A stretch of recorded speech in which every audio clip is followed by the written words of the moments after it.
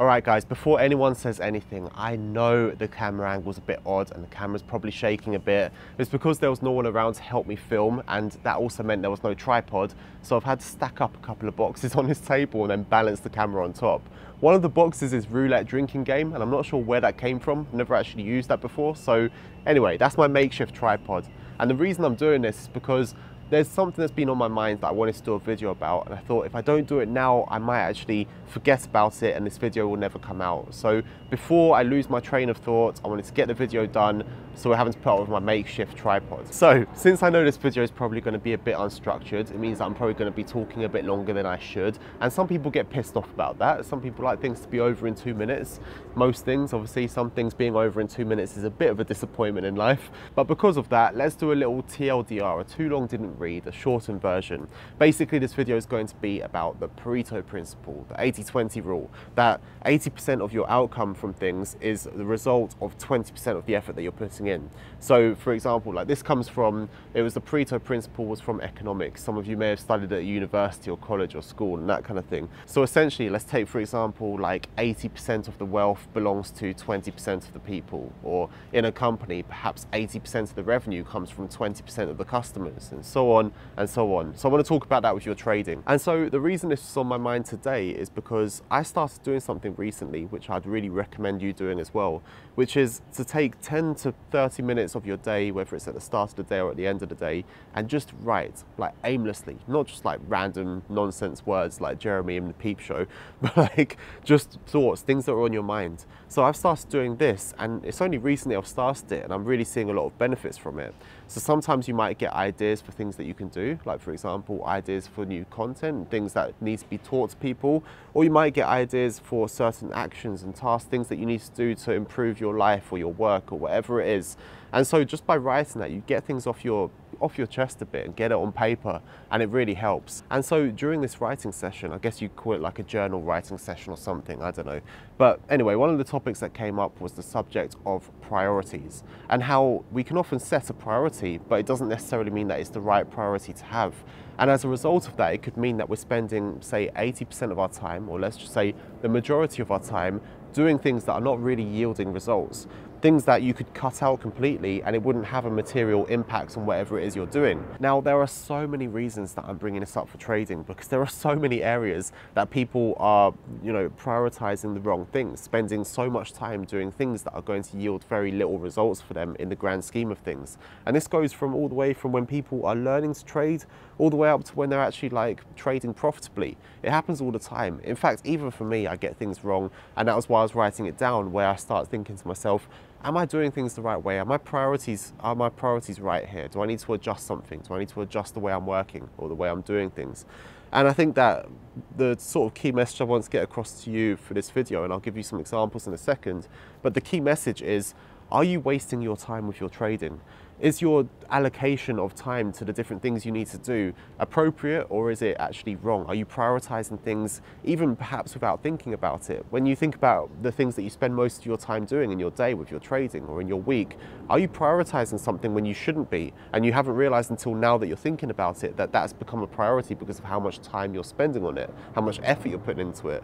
Is there something that's maybe much more important that you know that if you get that thing right, it yields good results for you, that you're not spending enough time time and effort on. Is there a way that you can adjust these things? So let me give you some examples of things that I've noticed or things that I've also been through because I think it's much easier to relate to and to understand if you have some examples. So the first thing is the market selection service that we launched recently. Now, why did we launch that? Is it because it's going to help people find opportunities? Maybe, but not necessarily. Is it going to help them find better opportunities? Yes, I think so because I think that if you have the right market, if you've chosen the right market for that day, rather than just saying like, oh, I'm just following this market because it's the first one I came to, or like I looked on a five minute chart and there was a setup there. If you find the right market, I think that's half the battle won at least. Like you'll have a much better trade, much more dependable, less uncertainty, probably better profit potential as well by choosing the right market first.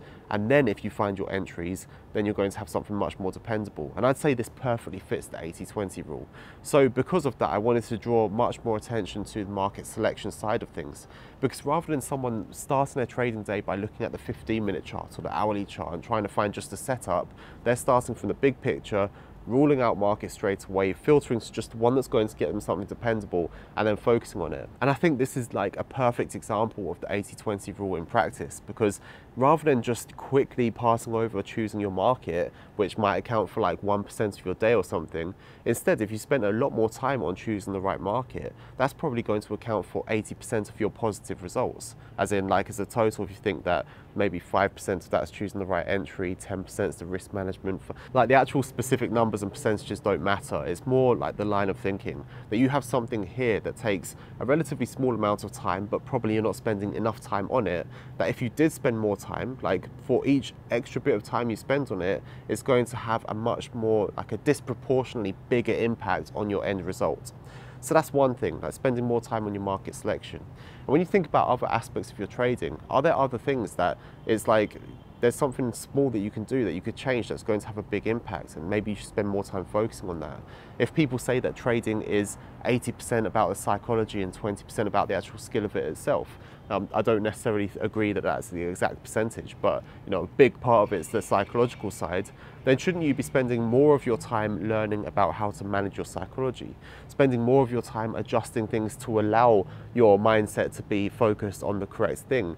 Like for example, when I talk about using lower position sizes, that's a small change to make, and some people still want to have big position sizes, but if that's going to help the thing that contributes the most to your success, which is your psychology, because it's going to reduce the amount of loss aversion you have and so on, then that's a good step to take.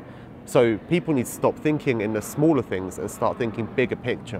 What are the small changes that you can make that impact the 80%? And I know that I just mentioned market selection, but this also goes for planning. This is something I've realized myself is that I traded my absolute best when I spend a lot more time planning what I'm going to do for that week, checking out the fundamental situation, checking out the economic news, planning exactly when I'm going to be trading, you know, looking through my analysis before the start of the week, looking back on previous analysis, going through charts and trades from previous sessions that I can learn from.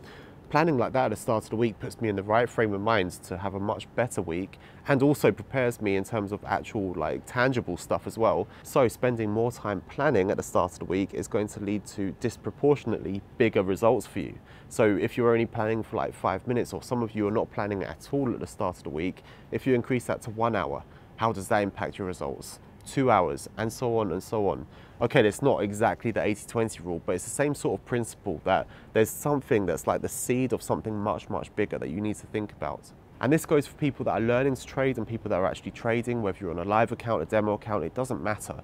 And it especially goes for those people that are trying to rush ahead and do everything right now. Because if you think about it, then that's like time that's going to be wasted in your overall development when instead you have something that you're not that you may be neglecting not spending enough time on that's going to have a much bigger impact on your long-term career. So obviously this is something that i think applies to everyone and not just in trading but in life in general. I think we could all sit down and write a list of different areas of our life and work and trading where these 80-20 sort of situations exist where we can just tilt the balance in, in favor of something else and have better results but when I was thinking about this, this whole concept for the video, there were two groups of people that came to mind instantly. The first are the people that don't do enough of like broad learning or like broad development. Instead, they find something they're good at. Maybe they learn how to do trend lines properly and they stick with that for ages and ages and ages and make excuses as to why they're just focusing on that for now and not working on other areas of their trading. Whereas if they adjust it and spend 80% of their time on other areas, maybe they'll get better results and better progress and development than they are. And the other area are the people that want to do absolutely everything. And I sit right in that category. I try and do absolutely everything. And by doing that, you're probably giving too much time to things that don't matter as much as things that are going to have much better outcomes for you. Because you're trying to divide your time between everything, you're ending up, you know, being too thinly spread over all of it. And this very much applies to me. Like, let me give you a practical example that I'm going to have to deal with tonight. It's something I've got to tackle this evening. So my inbox is currently in the hundreds of unread messages of trading questions because I always said if people email me, I want to personally respond to them. The problem is it's built up and built up. As the channel's grown, as we've got a bit more popular, I'm getting more emails. As people realize that I reply, they reply more. And now I've got a huge backlog that even when I'm trying to work on it for like over the days and weeks, more come in. So people end up sitting in practically like a waiting list for quite a while. And because of that, because I insisted on personally answering every email that came into my inbox rather than letting the team help me, it now takes me hours and hours and hours to clear through them all, which is time that could be spent doing other things that would yield better results. For example, those people in my inbox, a lot of them will give up trading because they don't have the perseverance. They're probably asking questions that it's like they're, they're jumping ahead too quickly, they're going to lose motivation and then they'll quit.